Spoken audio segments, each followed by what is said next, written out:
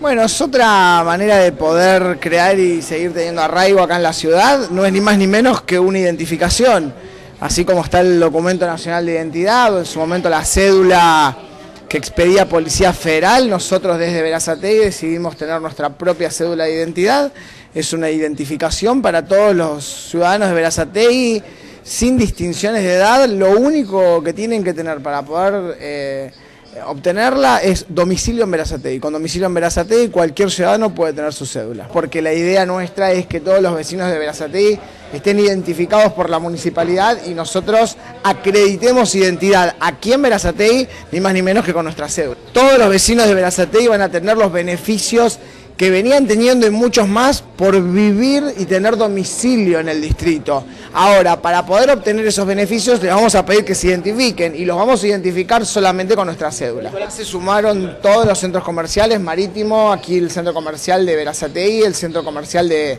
Gutiérrez, el shopping eh, Villa España.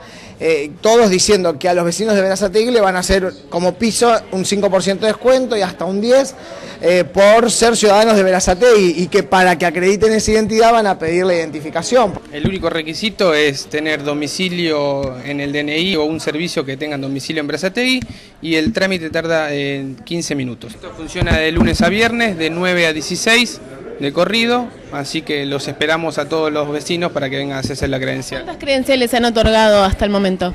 A partir del 14 de febrero hemos entregado 650 credenciales hasta el momento.